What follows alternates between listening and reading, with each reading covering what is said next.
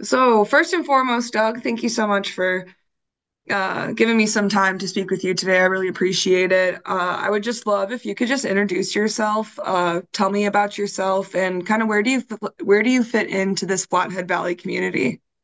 So, in introducing, I assume you're saying, uh, who am I and what I do? I, own a uh, landscape company here in the valley, and own a couple of Airbnbs. Uh, that's so that's how I make my living. Um, I uh, have three kids that are all grown, and um, I'm married. Um, how do I fit in the community? Uh, I've lived here 24 years, and I have uh, been involved since I got here. Uh, I served on the Whitefish City Council for four years. I was deputy mayor for two years. Uh, everything from coaching soccer to uh, serving as choir director at my church, uh, serving on different boards and committees, and um, uh, currently serve on the uh, Flathead Library Systems uh, Board of Trustees. Um, good synopsis. Thank you. Um, so as you know, your opponent, Dave Fern, has he's a seasoned former legislator. Um, and I'm just curious as to what what was the drive that got you to enter the race this year um, as a first-time state house uh, representative. What what why this year was the year for uh, you to run? Well, I'm not running for the state house. I'm running for the Senate. Well, I yeah, have the I have Senate, run the Senate run, yeah. so I ran for the House 10 years ago. And um, at the time that I did it, I knew it would be a sacrifice for my family because I was still raising kids. Uh, I, I had a strong desire to do it then. That desire has not abated. And so I had said, well, I'm going to wait uh, till my kids are grown and out of the house before I run again because I'd rather just spend the time with the kids. And uh, so my kids are, my youngest is in college now. And uh, so uh, there's nothing that's really holding me back from doing it. Um, I, I, I enjoy the process. I, I like uh, I like trying to come up with solutions to problems. I like uh, being an advocate for um, for people that that live here, and uh, this is, as far as I know, the best way to do that. Yeah, absolutely. Uh, you kind of touched on this, but the process is something that I know that you've talked about. Um, and you have experience uh, from like your time as a councilor, um, being on the super local uh, end of that. And so, with that experience and with that knowledge, how do you plan to represent your community in Helena, uh, keeping the locals in mind? Well, the the first thing you have to realize is that people are not statistics; they are they are individuals, and so the decisions that you make uh, are going to affect people individually. And I don't think you can fail to look at that. Um, that said, you know, statistics are valuable, and then in that they they tell us a lot of things about uh, your constituents. Um, my goal is to advocate for the people that live here uh, and not fall into the common trap of being an advocate for government itself. So many times when you hear an argument, uh, particularly financial, uh, about people's money problems or what uh, different organizations, different government entities need in funding, everybody is saying, oh, woe is me, woe for the poor government. They need more money. Um, to, to give you an example, I read an article not too long ago uh, about Trump's impact on the uh, finances versus uh, Harris's. And it was saying that Trump would cost like his pro- policies was called like, like $10.8 trillion and hers would cost 8.6, something like that. And I thought, well, there's no way on earth that makes any sense. And so I go and read the article, and the article was totally written from the standpoint of it was going to cost government funding. So she was going to increase government funding. He was going to decrease the government funding. And they were lamenting the fact that $2 trillion worth of funding for government was going to be lost. Well, that's a, that's a victory for taxpayers. So it, it's an idiotic viewpoint that is totally backwards of advocating for people. When people work for a living, it's their money. It's not the government's money, it's their money. They deserve to keep their money. And therefore, the government should be obligated to spend as little as humanly possible while providing basic services that the people expect.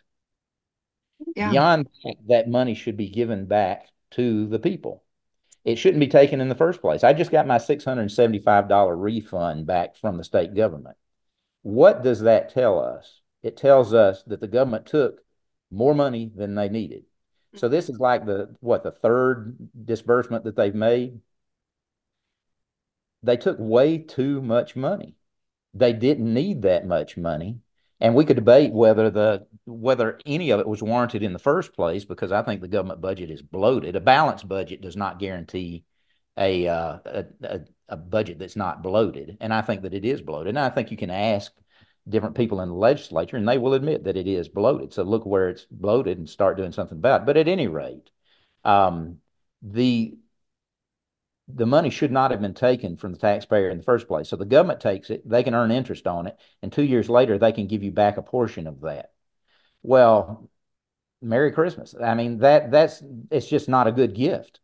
Um, my goal is to see that the government does not take it from you in the first place. If the government thinks you're too stupid to manage your own money, then they they can take it.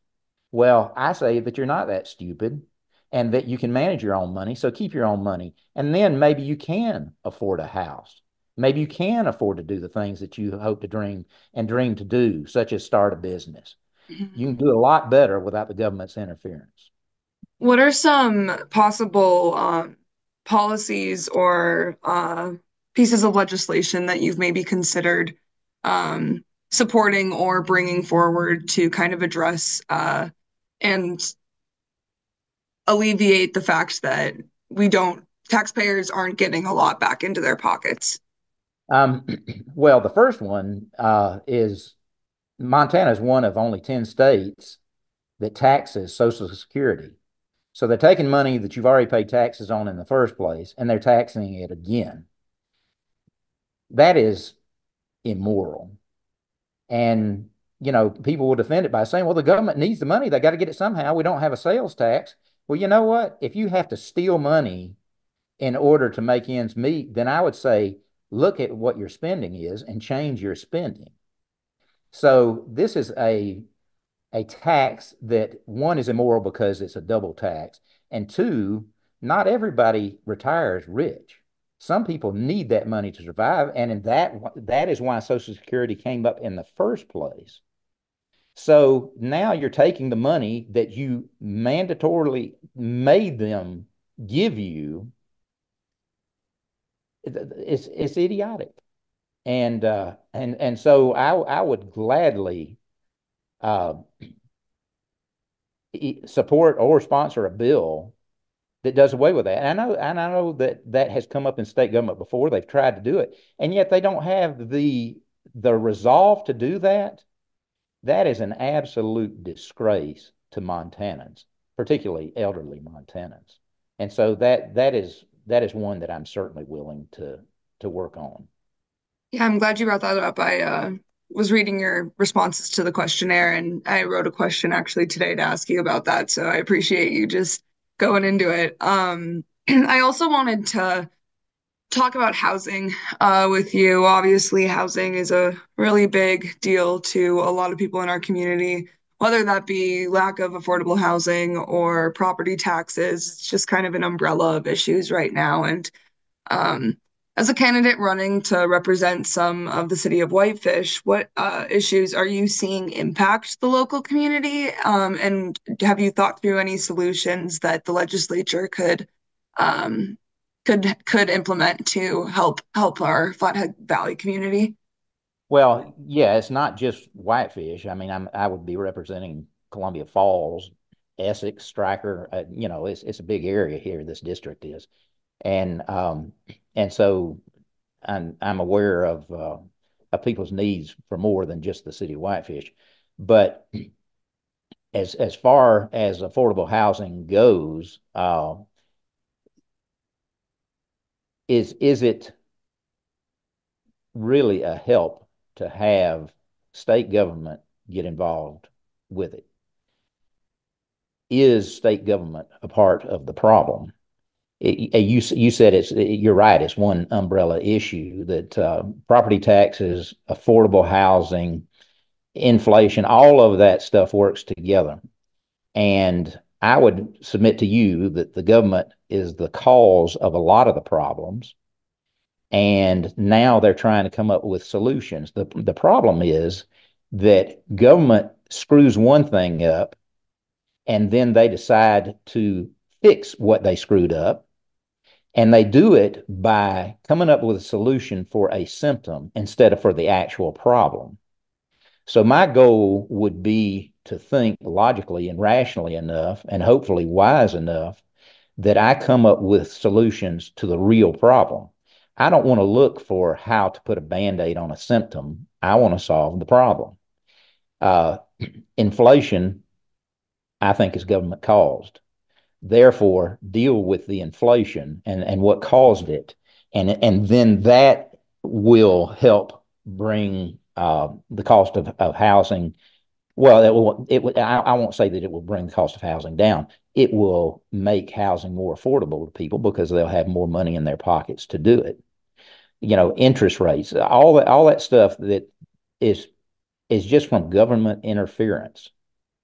Government should exist to protect people from wrongs, to provide uh, infrastructure such as roads and bridges, and to keep from having chaos, we need to have organization in our lives. And everybody should be willing to pay taxes because we're part of a society. No man is an island, and we all have to live together. Therefore, there needs to be organization instead of chaos. So I don't deny that, and I don't think most thinking people would.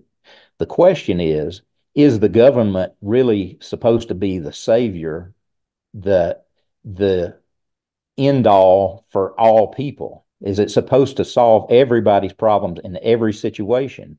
Is it supposed to be your nanny? And the answer is that's not the way that it was intended.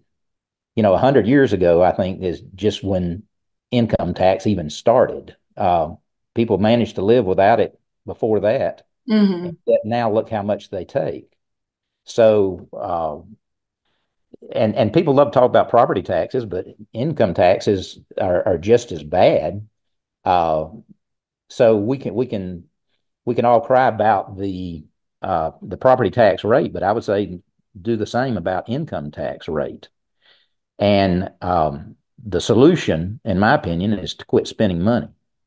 So you look at what is really necessary uh, for people. What what should the government provide as a service to people. And you spend money on that and you give the rest back to the people so that they can do what they want to with it. You know, everybody has a, a right to succeed. Everybody has a right to try. And uh, everybody has a right to fail as well. And so give people the freedom to do that. What other policies or issues are you kind of really focused on um, as we're entering the last couple of months before November, what what when they when people see your name on the ballot, what do they want? What do you want them to think? I want them to think that this is somebody that cares enough about them that I would allow them to live their lives freely, um, without being canceled, um, with without uh, feeling an undue burden to support government uh, it's it's sort of a it's sort of a weird situation where the onus is put on us to support government. But yet, then you've got the whole other side of it where people expect government to support them. And so it seems to me that most things these days are looked at uh, from a Robin Hood standpoint, where you the the government feels the need to take from one group to give to another group. So they're they're putting a huge burden on one group in order to subsidize another group. And and I think that people are not as stupid as the government thinks that they are, and that people will be able to make uh, not just a living on their own, but to thrive on their own if the government would get out of the way. Uh, there, there are certain things that are very in, important to me. Um, uh, I've just started getting involved with um, the the Coalition for a Clean CFAC and uh, the the cleanup of, of that property. And I think that the way that it's been done is uh, is is wrong. I think the solution that they came up with is wrong, and I think the people that will suffer are the people in Columbia Falls or the fish in the Flathead River.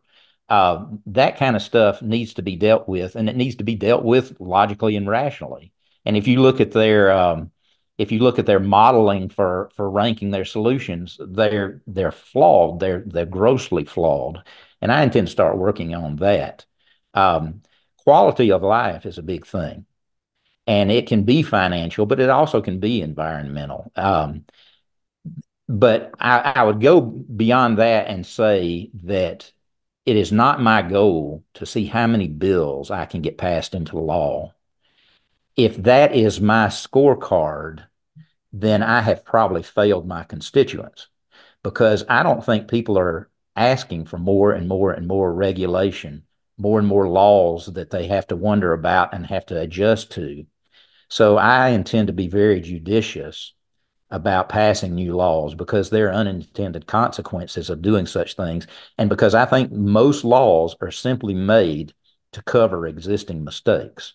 So, so instead, let's just uncover and undo those existing mistakes.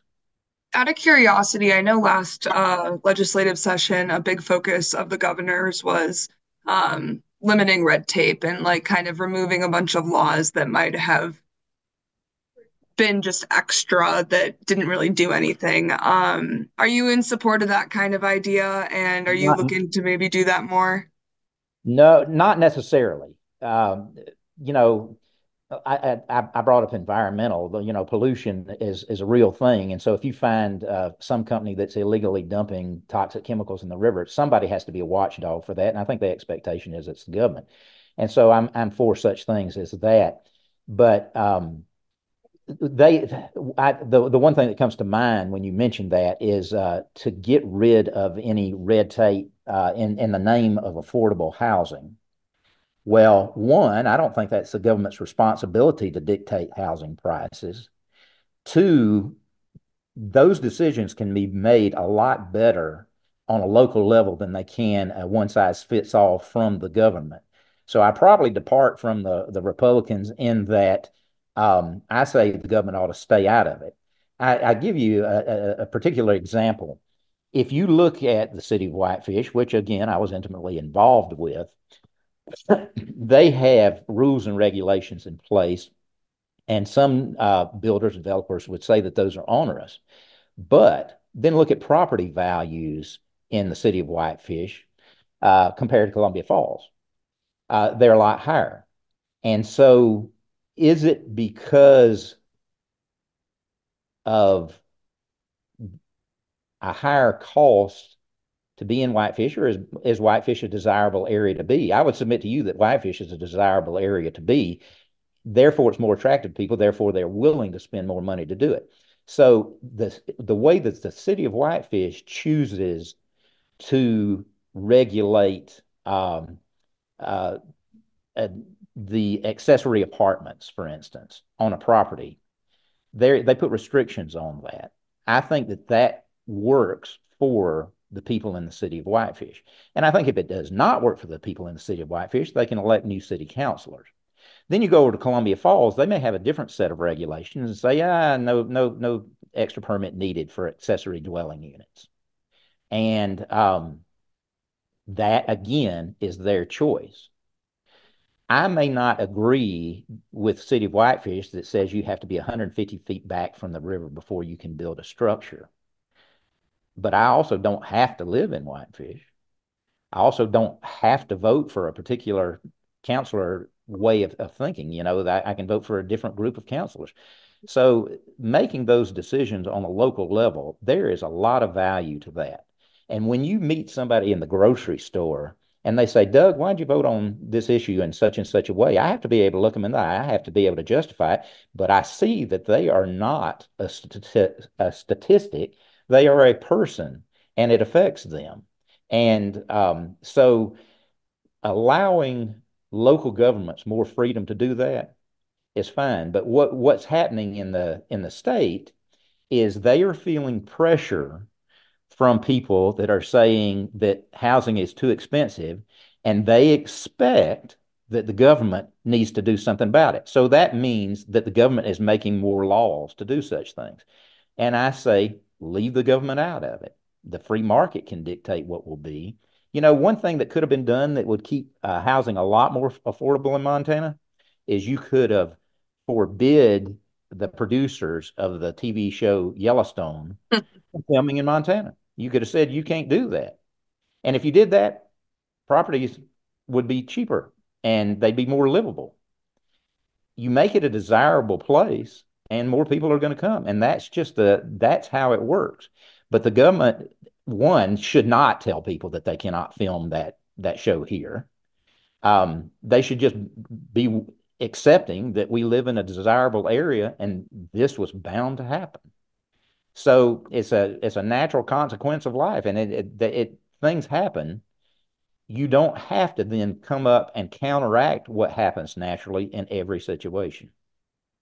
You mentioned that you might, that's kind of where something you might differ from Republicans, um, Republicans on. Is there anything else, uh, issue-wise that you think is kind of unique to your campaign compared to maybe, um, some other people who might be running in your party? I, I would venture to say that I, by and large, agree with uh, most Republican positions, but I don't intend to be held to the party line. Uh, if if I'm nothing more than an echo, then uh, then then you don't need me there. I have my own thoughts and opinions, and I I hope that I would vote accordingly, and and I hope that it's a, a common sense approach but I just I don't worship government, and um, and I see great value in, in and and great need in government, but I don't worship government, and and my goal is is not to support government. It's uh, it's to uh, it's it's to make the individual's quality of life better. Well, sweet. Is there anything else that I haven't asked you, um, or that you haven't gotten the chance to say that you think's important at this time? Yeah, I just wanted to open the floor for you right now, just in case there is a big thing that we might have uh, we might have missed. I think I think one thing uh, it's on my platform, and and I was reading about it just this morning, is government accountability. So it's been in the news for the past week uh, that uh, uh, audits have been done at state government, and uh, the they are accusing now uh, some of the different government agencies of not being accountable, not having uh, kept accurate records like they're required to do uh, for expenditures. A lot of that money is money that has been given by the federal government, and yet it's they've not been held accountable for it. So uh, I think that holding the accountable the government accountable for expenses is really important. I think there's a bigger problem. The bigger problem is that the federal government should not be doling out money because it's just our money that they're turning around and giving to the government, and they're just doing it through the back door. And um, I, I, think it's unnecessary, and uh, I, I, think it's unfair to the taxpayer. I think it's a waste of taxpayer dollars. But the money's there. People need to be held accountable.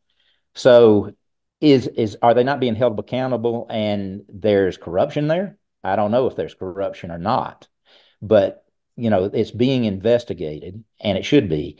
That they said the same thing about the money on, on, for the school systems and so people uh, lament uh, what they consider to be a too small a budget for the school systems, and yet then there's all this unaccounted money. Well, where did it go?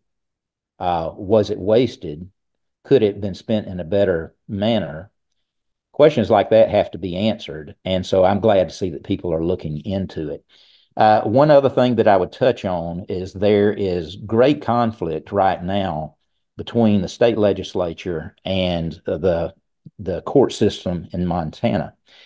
And um, I, as I've said, probably in the questionnaire that you asked, uh, everybody should stay in their own lane. So you have to ask: Is there judicial activism going on from the bench? Um, when when we read stuff, you know, I, I, don't care how professional you think they are. I think things can be slanted because we all have opinions. And so it's hard to know if what I'm reading is is really accurate, if it's the whole story. I think there's a lot more to the story than what we know. And I think it's I think it does bear investigation. I think the Senate is trying to investigate it, and it seems like the Supreme Court, from what I can read, is really indignant about being questioned. Um, if you reverse the situation and it was the Supreme Court questioning whether or not the Senate was staying in their lane, whether there was something go- wrong going on in the Senate, um, would the senators be offended? I bet they would. But does that mean they don't need to be investigated? No, it does not. So I think no matter who you are, I don't matter what uh, uh, position you're in, what branch of government you're in, I think that having uh, investigations and oversight may be necessary, and people should be held accountable for what they're doing. The Supreme Court, to me, is looking like they are arrogant and they are going to resist any efforts to be held accountable by anybody. And um, so I don't know the extent to which the the Senate has any power to really do anything anyway, I, because I, am just ignorant of that. I'm sure I, if I'm in state government, I'm sure I'd learn more about that. But I I'm all for accountability for every branch, and uh, I think I think we all need to be held accountable. I think that's probably everything that I really wanted to touch base with you about this morning. Um, thank you so much for your for your time and your insights. I really appreciate it.